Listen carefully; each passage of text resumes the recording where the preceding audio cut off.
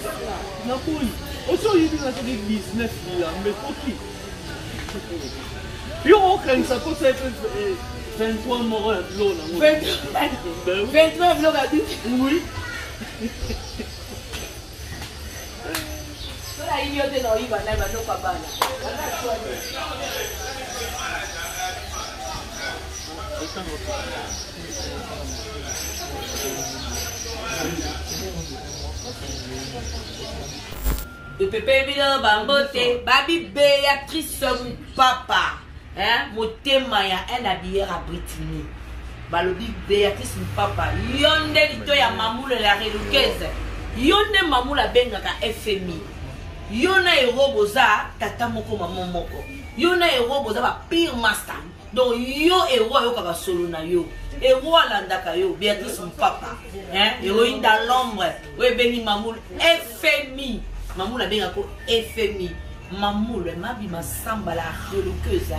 eh, motema ya pichu muluba nabai toujours mema bango à côté balobi marie noela lumbila la femme du patron quand on dit la femme du patron voit marie noela lumbila eh, mwasi oyo asololaka na carte eh, mwasi oyo asololaka na carte swa swa swa marie noela lumbila la femme du patron coucou à toi e balobi ye moko ye moko babi ye moko ye moko moninga florence utuali eveline kabeya eveline kabeya na kati ya paris eh? moninga ya eh, moninga ya marie florence mutuali na kati ya paris deux amis inséparables oyo oh, macron ayebi bango osuka oh, amoni eveline kabeya aza te atuni florence mutuali oyo etakopi Mais les juste derrière moi là, hein? Macron a élu Bango, Brigitte Macron a élu Bango, Evelyne Kabeya, Yaya Lanto Kabeya. Respect na yo yango wana Evelyne Kabeya na kati ya Paris. Babi Mireille Kapakave, Mireille Pakave, hein? Ye mon président ya ONG, mon dernier espoir. Place espoir na biso esukaka, place espoir na biso esukaka, ezalaka Nzambe. Nzambe atie loboko, Mireille Pakave. du nouveau à kinshasa bana kin oyo balinga bopeto bana poto oyo bazalaka mwa bagage ebungaki aye mwa vite fait alobi na koseravita ye wapi nulle part ayer na kitambo balobi kitambo magasin nde makambo ezali kitambo magasin okoti komoriko komoriko na kitambo croisement komoriko oyo ya avenue boma bino mobongo na kati de plaise epai ya jano makonga mwana poto ya ntongo oyo ya paris oyo ayebi makambo kolata makambo kolata eza ya ye makambo kolata botikela jano makonga makambo kolata na basi na mibali ezali jano makonga alobi na kotikala bana kini te aye kozepesa biso na boutique ya kitoko te plaise baarticle nyonso ezali mpo na bavêtement ya homme ya femme enfant style nyonso olingi okoseretrouve awa na deplaise epai ya jano makonga boutique ya kitoko na kati ya kitambo na aveni boma croisement oyo ya komoriko deplaise eza na mpona baarticle na bino mpona kosepelisa bino na bamanifestation nyonso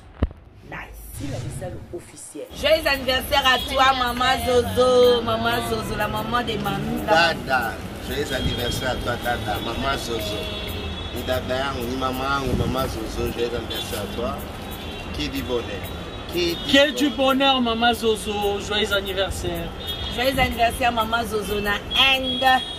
na inde mama zozo soki okomi inde omoni mama zozo te seke eza inde te wana tuna bien na passeport visa ya wana mama zozo na inde love you love you love you Et puis bref, c'est Maman Zozo de la part de Linda. I love you.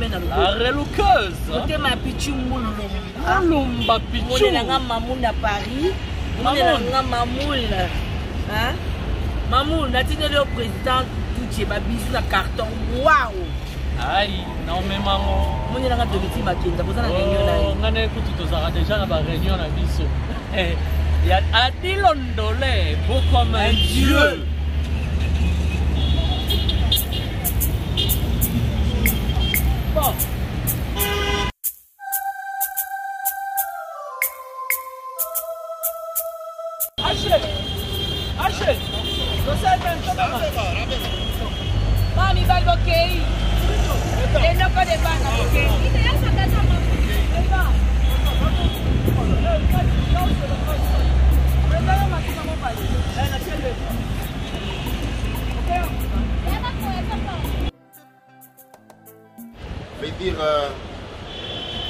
Edith Chamala, Chamala ya ba Edith euh, wana pene pene na ye nazotala boye mwana balabala na biso tokangama mapangu euh, ye wana moto na ngai ya dedan ya enceinte mwanangani veut dire mwanangani ya ba enceinte bino nde bwa babiro edite euh, balobi wana mama présidente ya fondation na biso vedire euh, bandeko boyebaki edite aza na fondation fondation eza moko actuellement oyo ezofonctionne comme il faut hein? fondation africaine